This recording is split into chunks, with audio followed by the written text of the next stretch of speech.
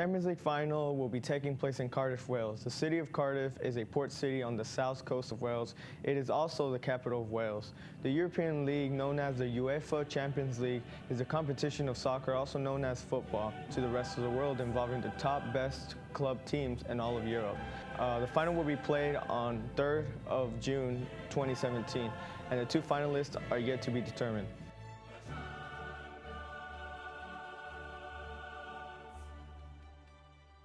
Events like these can be a easy target for terrorists. Past events like the bombing in Paris, France near the stadium, there had to be an immediate evacuation and had to cancel the game. Another is the bombing in Dortmund, Germany, not happened long ago, when the soccer team was heading in the stadium and a bomb went off in the bus, one of the players were injured. So now Cardiff police are taking this as an opportunity to catch any person that can be a threat.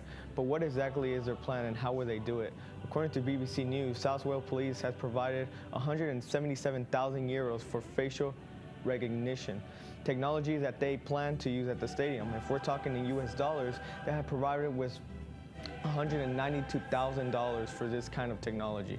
Also stated in BBC News, faces will be scanned at the main entrance of the stadium and Cardiff Central Railway Station.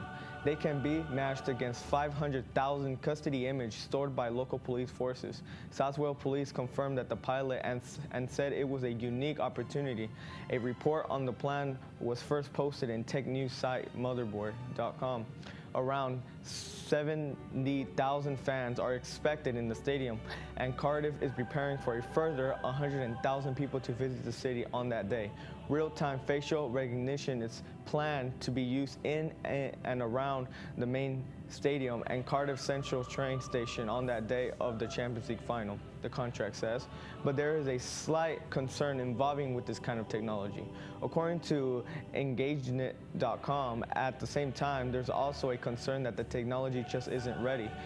Face recognition ideally relies on clearly visible headshots. How do you capture those shots when thousands of people are swarming through a stadium or a uh, train station.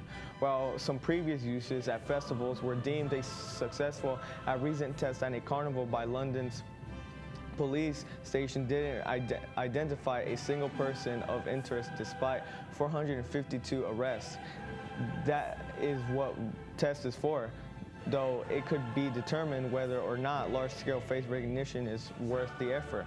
Police are also taking as a concern that the technology that they are using can target innocent people and gain too much face recognition information than necessary. Police are taking extra precautions and limiting their standards for people who are not a target. Everyone who is headed to the Champions League final are going to be part of a massive experiment in security and privacy uproar the opportunity and the experiment will be determined if this can not only be, be used in Europe, but around the world. I'm Ivan, back to you, Angers.